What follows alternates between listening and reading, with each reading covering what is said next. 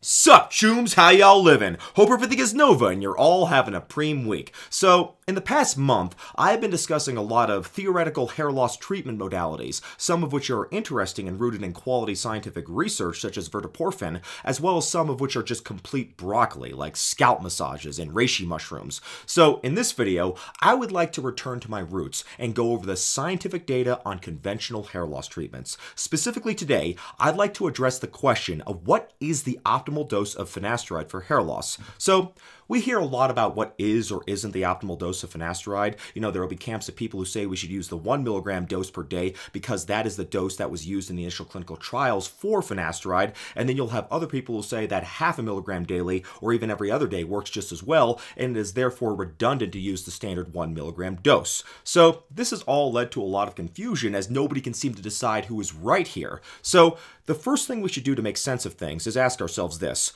Why do most of us who take finasteride for hair loss take it at 1 milligram daily? The obvious answer would be because that is the dose that was used in the clinical trials for finasteride, which led to its approval for hair loss as Propecia. But why did they choose that dose specifically? Why didn't they, for instance, just approve Proscar, which is the 5 milligram version prescribed for prostatic hypertrophy to hair loss patients as well? Well, let's go over that. In general, when it comes to any pharmaceutical treatment, whether it be finasteride or even aspirin, you want to use the lowest dose possible that is still high enough to be effective, but low enough to minimize the risk of side effects. So in order to determine the optimal dose of finasteride, there was a study conducted in 1999 that looked at scalp biopsies in men with androgenetic alopecia who were given a wide range of doses of oral finasteride. And this study showed that finasteride doses from as high as 5 milligrams a day down to 0.01 milligrams a day had effects on lowering both serum DHT and scalp DHT, but it seemed that doses of at least 0.2 milligrams a day had significant effects on both serum and scalp DHT as you can see here. This is a graph from that study showing the effect of the different doses on scalp DHT, and this is a graph looking at serum DHT. It is interesting that 0.2 milligrams per day lowered both scalp and serum DHT, but a dose as low as 0.05 milligrams per day lowered scalp DHT with less than of effect on serum DHT. Also, it looked like there was not much difference in the effect on scalp and serum DHT when using 5 milligrams per day, which is the standard dose for treating prostatic enlargement, versus 1 milligrams per day, which of course is a standard dose for treating hair loss. At the time this research was done, it was felt that maybe it was important to lower both scalp and serum DHT, so that's why it was felt that 0.2 milligrams and not 0.05 milligrams might be the minimum effective dose. But the scalp DHT is obviously more important than serum DHT in fighting hair loss, so this study raises the possibility that doses as low as 0.05 milligrams per day might have some effect. Unfortunately, though, there have been no further clinical studies that looked at that dose. Anyways, because of the results of this study, which looked at the effects of different doses of finasteride on DHT levels, there was another study which was conducted that looked at the effects of doses of finasteride ranging from as low as 0.01 milligrams per day up to 5 milligrams daily on human subjects who have androgenetic alopecia, with the endpoint being to find out which doses had the most positive outcomes on hair growth. This study was published in 1999, and I'll link it in all sources I'm going to use below as usual. The study was a double-blind placebo-controlled study of men with Norwood 3 or 4 androgenetic alopecia levels, and the subjects were given either 5 milligrams, 1 milligrams, 0.2 milligrams, 0.01 milligrams of finasteride, or just placebo, and there were at least 110 subjects in each study group. The subjects were followed from 6 to 12 months, and follow ups were done looking at hair counts with phototrichograms, as well as patient self assessments, investigator assessment, and global photographic assessments. They also looked at serum DHT and testosterone levels. So, if you look at the overall results, you'll see that finasteride is not very dose dependent. Here's a graph of hair counts on 5 milligrams a day of finasteride versus placebo, and here is another graph showing the results with the other doses. The only dose that didn't increase hair counts was the 0.01 milligram dose, which was no different from placebo. So clearly, you shouldn't use a ridiculously low dose of an finasteride like 0.01 milligrams per day. You know, I can understand dose titration, but let's get serious, guys. You need at least more than a homeopathic dose of an finasteride in order for it to work. So anyways, looking at the actual changes in hair counts, the first effective dose was 0.2 milligrams, which seems like a low dose, but this is still 20 times higher than the tiny 0.01 milligram dose that they tested. So now we're getting into territory where we actually see some positive outcomes. So in the case of 0.2 milligram patients, they experienced significantly increased hair counts after 12 months. And using a phototrichogram, the researchers found that the subjects averaged an increase of 65 new hairs per square inch on the scalp. So we know that 0.2 milligrams works, but what about larger doses? Do those work better? Well, let's go up to the FDA approved dose of 1 milligrams per day and see.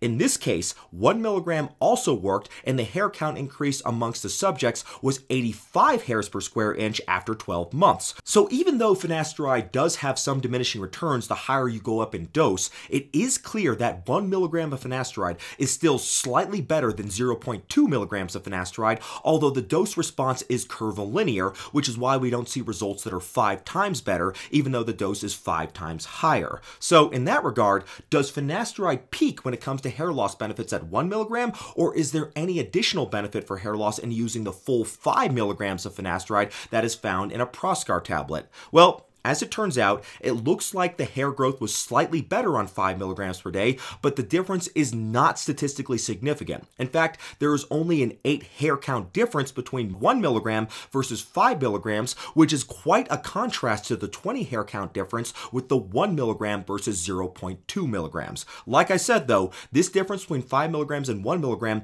wasn't statistically significant, meaning they were about equally as effective.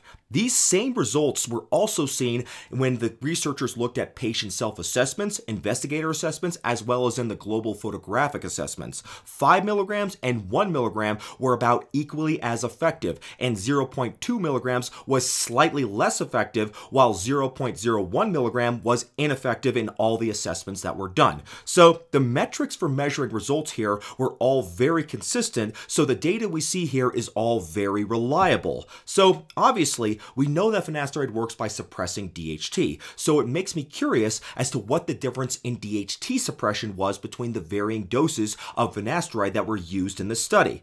Well, Looking at the 0.01 milligram dose first, even though it didn't produce any outcomes in terms of hair growth, it still, interestingly enough, suppressed some DHT, 11% in fact, despite the fact that it was totally ineffective in causing hair growth. So this does show that you need to have more than just a small amount of DHT suppression for a drug to be effective, which may explain why natural treatments that theoretically lower DHT, like saw palmetto, uh, stinging nettle root, or reishi mushrooms, don't don't work even though the mechanism behind them is similar to finasteride. The problem is they just don't lower DHT enough, so taking them may be the equivalent of using 0.01 milligrams of finasteride, which also has valid mechanistic data, but just doesn't produce any benefit. This is a good example as to why outcome data is always better than mechanistic data in terms of the hierarchy of scientific evidence. A treatment could have a good theory and still not produce any results, which is why you should always rely on outcome outcome data as opposed to just mechanistic data. So let's go ahead and move on to the smallest dose we do know works, and that is 0.2 milligrams of finasteride.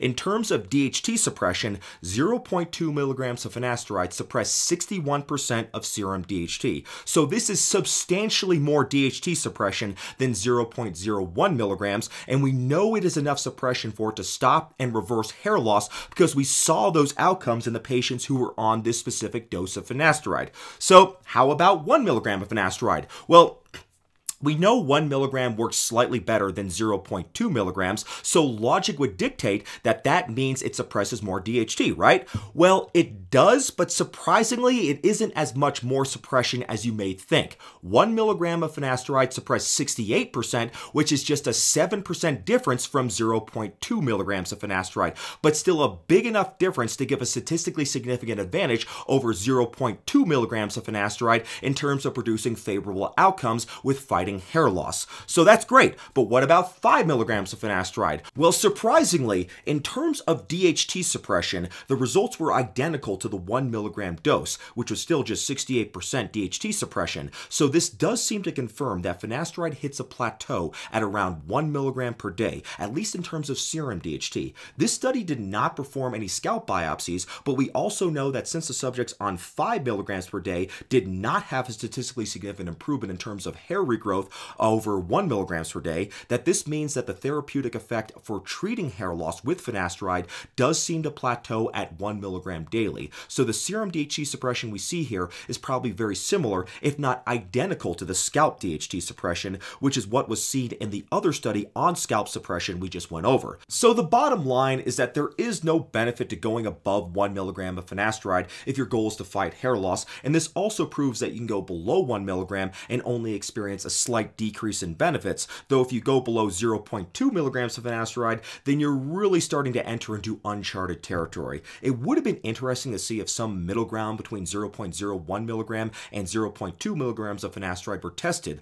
like say for instance we tested 0.1 milligram, but for now the existing data seems to suggest that 0.2 milligrams is the minimum effective dose for finasteride in treating hair loss, though the scalp biopsy study I mentioned earlier suggests that lower doses above 0.01 milligram per day might still suppress significant amounts of scalp DHT. The problem though is we don't have any clinical data on hair counts at such low doses. Another point of interest is that in all the doses above 0.2 milligrams, there was a similar increase in testosterone, roughly 18 to 19% increases in fact. This is due to the fact that the inhibition of the 5-AR enzyme that converts testosterone into DHT results in more testosterone since less of it will be converted into the trash hormone DHT.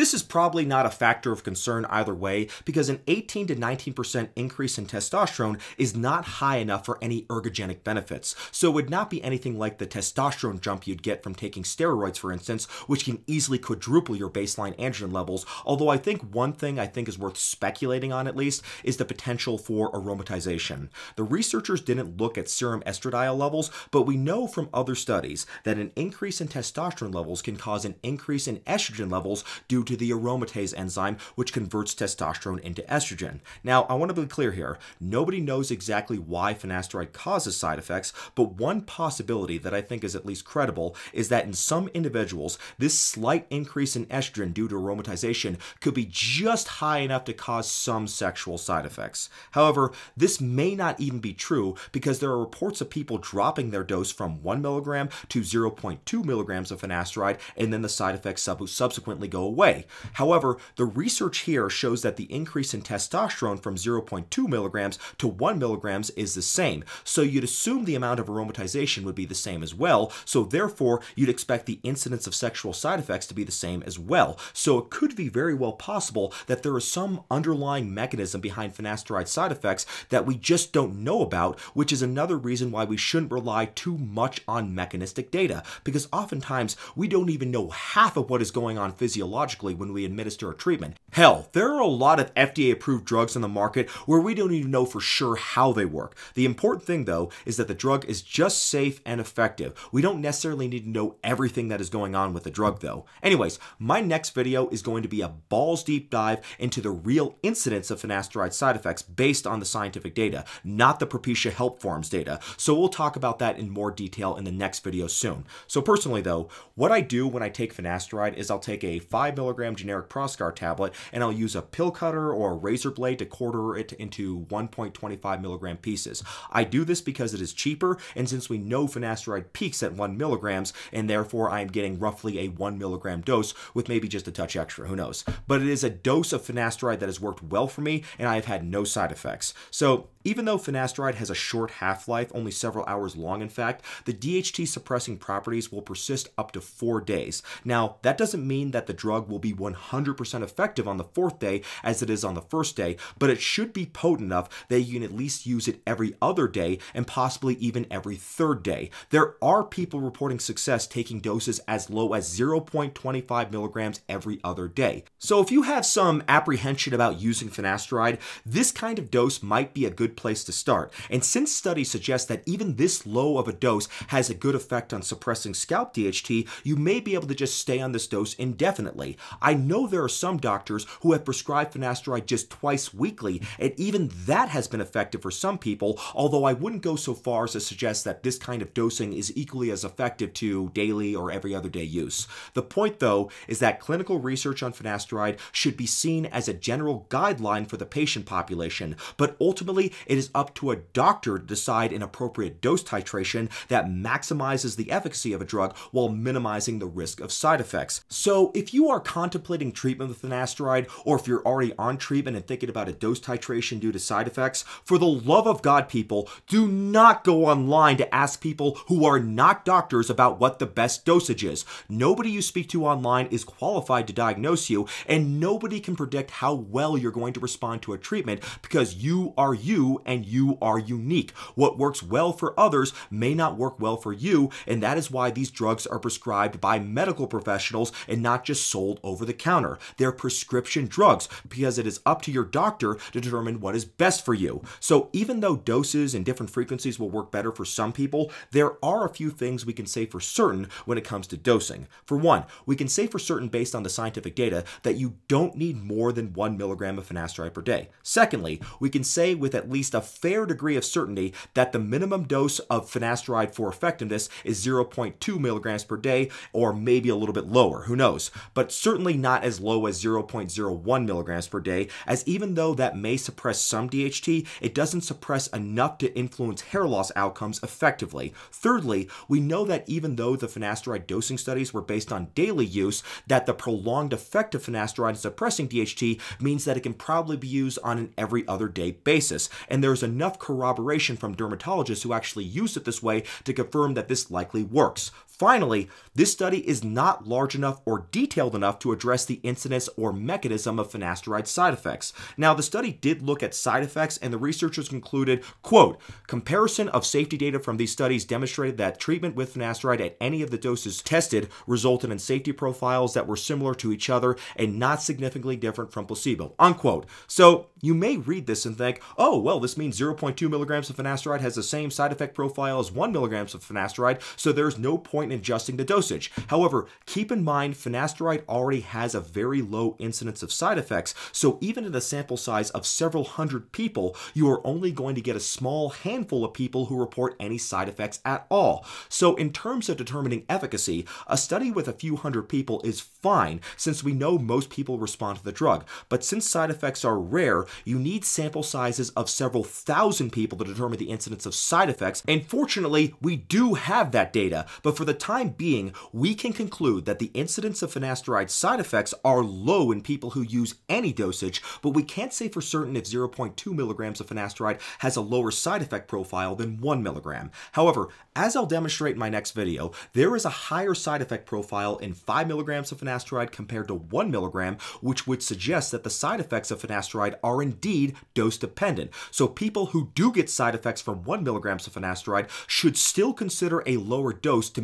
mitigate the risk of side effects, especially since the difference in efficacy between 0.2 milligrams and 1 milligrams of finasteride isn't all that significant. So the bottom line is that finasteride allows a lot of leverage in terms of titration when it comes to efficacy. So what the optimal dosage is for you is something you will be able to determine with your doctor. However, just because you aren't using the standard 1 milligram per day dose does not mean the drug will not be effective. On the contrary, the evidence suggests it absolutely will be. So that is yet another great thing about finasteride. It's not very dose dependent and low doses can work just as well as higher doses, or at least close to. But for the the last time, though, please stop asking people on Reddit and hair loss forums what dose you should use for finasteride. There is no way they can give you an answer that is better than what a doctor who has diagnosed you can provide. In fact, you probably shouldn't be posting on Reddit and hair loss forums or even viewing them under any circumstances to begin with, or else you'll just end up throwing your finasteride in the trash and then trying to save your hair by rubbing broccoli sprouts, onion juice, and zinc tablets on your scalp or some other such nonsense. But anyways, with that, I'll see you soon, Chooms, because, you know, we got a lot more work to do. So until then, good luck on the path, my fellow hair loss witchers, and take care. See ya.